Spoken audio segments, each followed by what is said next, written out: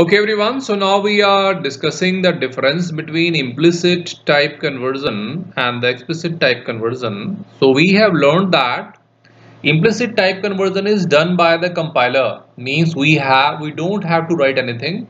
Compiler will automatically done this.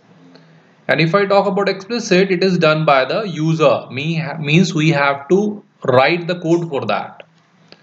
It is the automatic type conversion because there is no involvement of user it avoid loss of data.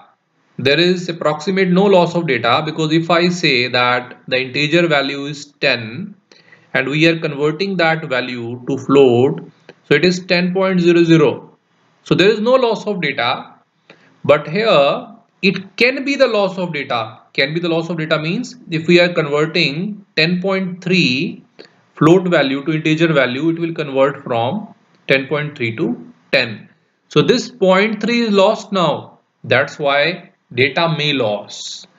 And may loss is one more point because if I convert 10.00 to 10 then there is no loss of data.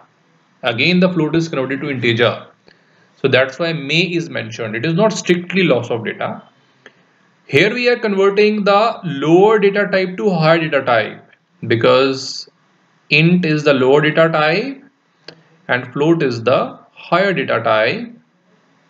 And similarly if I talk about the explicit it convert from higher to lower. Just like 10.3 is the float which is higher and 10 is the lower that is the integer.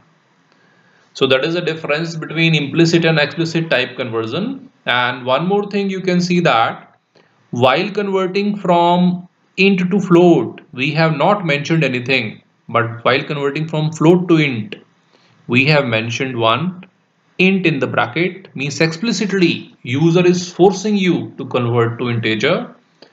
So that is the difference between implicit and explicit type conversion